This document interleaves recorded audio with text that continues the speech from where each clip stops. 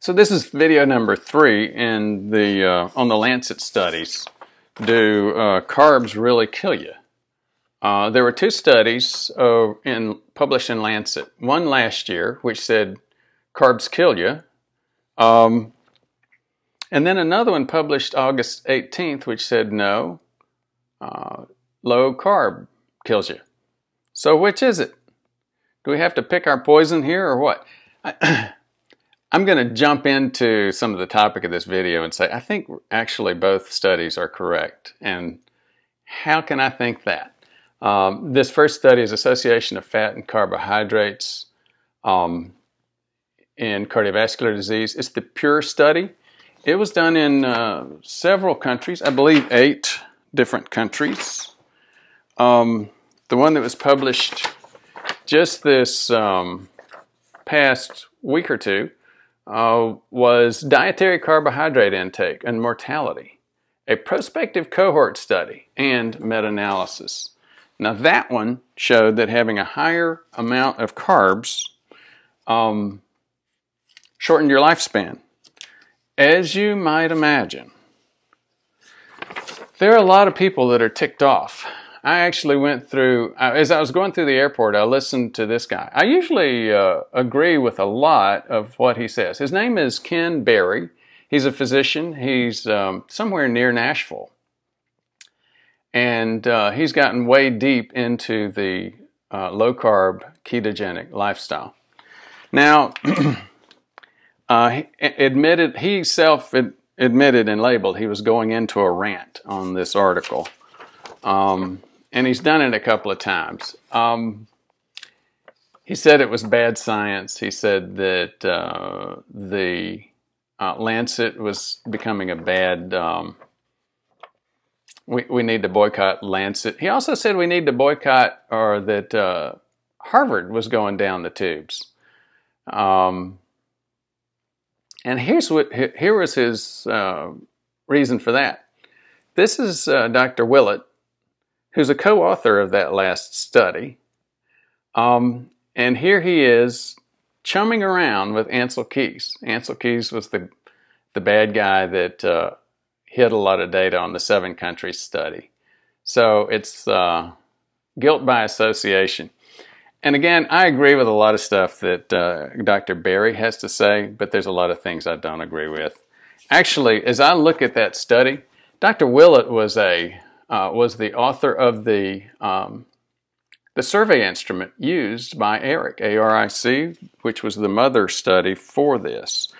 Um, it's called the frequency. Hold on just a second, and I will. Um, FFQ. Dr. Willett was the author of the FFQ, the food frequency um, questionnaire. It's a 61 item uh, food frequency questionnaire. It was designed by Willett and Associates. Because of that, th- that may have been his only association with this study. I don't really know. He may, may have been very deep into it.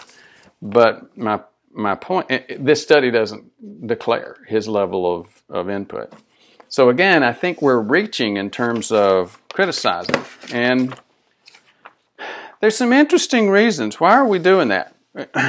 Before I talk about why we react the way we do, I'm going to cover, cover, a couple of other beliefs I've heard um, from Dr. Berry and others. One is that we know what our ancestors ate. Well, I don't think I don't know. I mean, maybe our ancestor, maybe this, maybe this. I'm not even sure this guy's my ancestor. I don't know. Uh, I don't know that. And if that is my ancestor, I don't know that's what he ate. In fact, take a minute and read this. Teacher, you should know this. You learned this three years ago. Me, I don't even remember what I ate last week. So the point is, uh, we don't know. We tend to not remember what we ate last week, let alone two days ago how do we know with scientific accuracy what our ancestors ate? We don't know anything else. We know very little else about them. So as you can see, I, I don't mean to be the the eternal skeptic, but there's just a lot of things that I'm skeptical about. I'm old enough to have witnessed a lot of debates. When I was in Japan, I was uh, staying in a hotel and I found that um, there's a thing called, I think it's called the Book of Buddha, but this book, um, I'm obviously not Buddhist. So I picked it up and started looking at it. And again, there was also a, a Bible there. I think uh, uh, the Gideons left the Bible. I'm not sure. There was a group that I, that I read that left the Book of Buddha. Anyway, side story.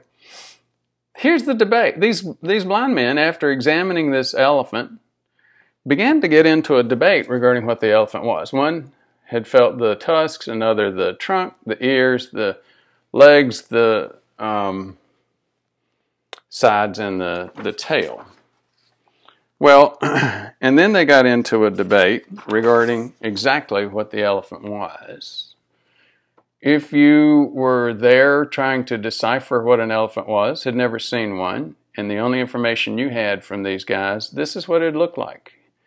It would be a snake with some sort of large head behind it, a spear sticking out, um, fans off hanging off the side, a big wall behind it with a rope hanging off the wall, and all of it was being supported by tree trunks. That's not what an elephant is, by the way. And guess what? I think this whole debate about, and I've said this before, I eat, um, I went from plant based with a little bit higher carbs to uh, lower carb. I'm remaining low carb and we'll get into that some other point, not right now. Actually, I will make one point. If you look at this study, the most recent study, one of the things that they found is you uh, there's a significant exception regarding low carb lifestyle. If you replace those carbs with um, plant based protein and oils, you get a decreased um, risk so I couldn't help but make that statement. And again, it's going to take a couple of other videos to get into detail on this, and I will in the next video end up reading a lot of the methods because it gives us yet another perspective on. We got six blind men and an elephant here. Um, yes, they're all right, but they're all wrong too once you start trying to describe the bigger picture. Uh, if you've been looking at this for a minute, maybe you see it now. Science blind. Um, again, it gets to all of the debate, more heat than light around this issue on carbs, low carb versus uh, low fat. This was written by Andrew Shtulman, and his perspective is look, there are competing uh, theories about life. As humans, we have to develop theories which put things together, like maybe how, how many carbs should we eat. Um, but there are competing facts, and therefore many of us have competing theories within our head. Uh, we can get blinded uh, about realities that support one if we're too focused on the other. Uh, this is uh, Tali Sharot. I think that's how you pronounce it. Uh, there's a good Google talk uh, given by her. And she wrote a book called The Influential Mind and another one called uh, something like The Optimism Bias. That, that book makes the point. It's all about wiring. Um, in these theories in our head, if we're a total um, dyed in the wool, low carb guy, we're going to not see this. And why? The brain, the brain is wired that way there is uh, there's actually a nucleus, and she mentions where it is. You got to uh, get the book or see the YouTube if you want to see the exact names of these nuclei. But the nucleus that um, is associated with the reward area, in other words, um, I'm gonna gonna get a whole bunch of money because of what just happened, um, or something good's gonna happen because of what just happened. That nucleus remember you remember those facts much much better and you incorporate them into your consistent worldview on the other hand if this is new information that doesn't fit all your facts the, the nucleus that's responsible for doing that is challenged. So let me go back to these articles. First to the theories and just give a couple of, uh, give an example of how I think both articles are probably correct in what they say. The problem is how we interpret them and the realities, the populations that we're looking at. The first article, the Pure Study, published a year ago in Lancet, basically ended up saying too many carbs in your diet is bad for you. A higher percentage of calories from carbs is bad for you. Well, that was an international study. Uh, and guess what? There were like, I think, eight, eight uh, countries involved with that study. And I think this gives you the picture very quickly. Look, if you're in an African village, um, basically on a subsistence diet, the vast majority of these diets are usually corn and maize. The most important thing you can do for these kids for their diet is to get more protein and fat into it.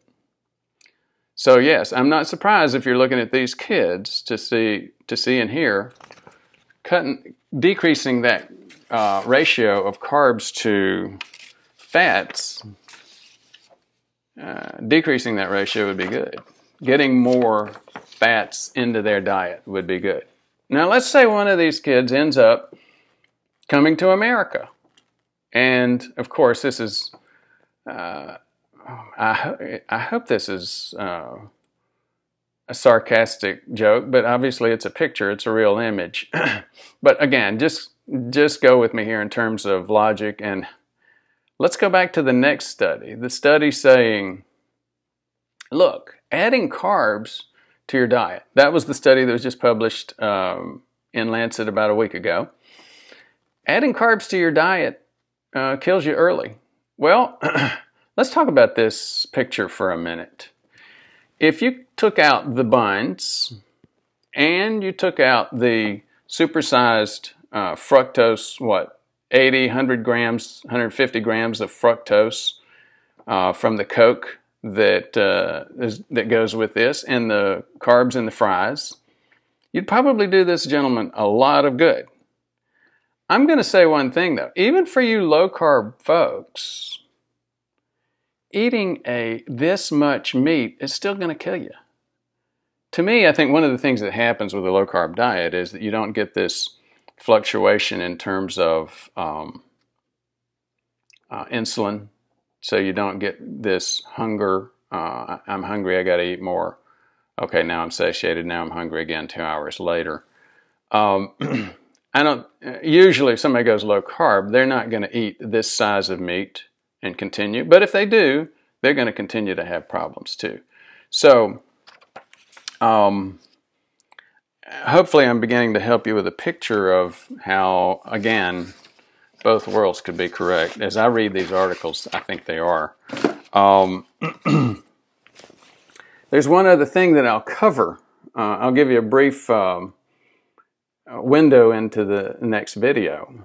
As you start looking at the um, the actual uh, study population, this uh, recent study saying dietary carb uh, decreasing dietary carbs actually decreases your lifespan. Uh, this is for a specific group, a young group. So in your when you're 15 to uh, 25 years old, if you decrease the portion of calories that's that's coming from carbs in your diet, you not the total amount, but the portion, uh, you will live four years less. Well, I'm not sure that's untrue. Uh, here's the thing, though. If I'm a 55 or 60 or 65 year old, pre-diabetic, I have insulin resistance. I'm, it, this study says nothing about that. And so, guess what? I am still not uh, giving up my low carb diet. Thanks for your interest.